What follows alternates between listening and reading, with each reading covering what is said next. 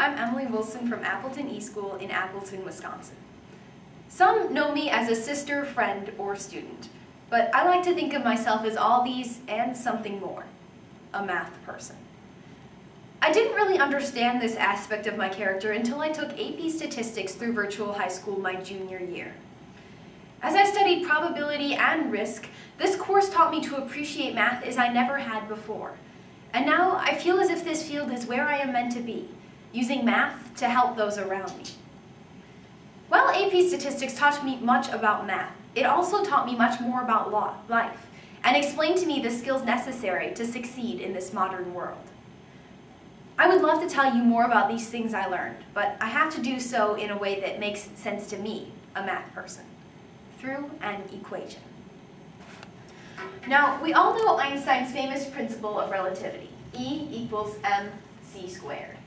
But I'd like to modify this a little bit and make it into E equals mc4.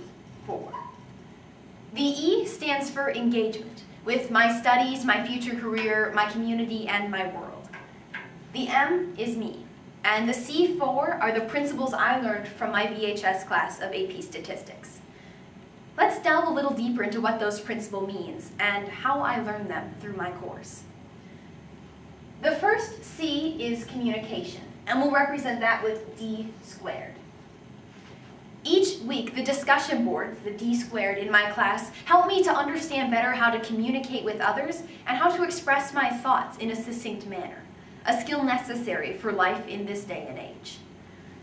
C, number two, is collaboration and we'll represent that with O over F.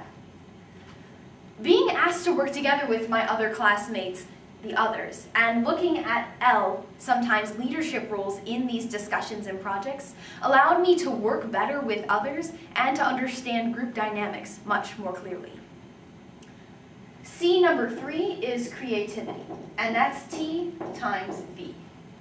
Thinking outside the box. Being asked to look at real-life situations and to apply statistics principles into understanding them allowed me to reuse creativity in math and also encouraged me to be creative in my modern world. And finally, C4 is, is critical thinking, S square root of A.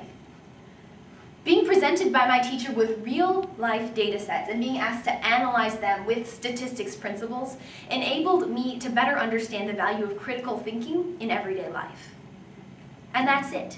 E equals MC4. With this simple equation, I'm ready to face the world.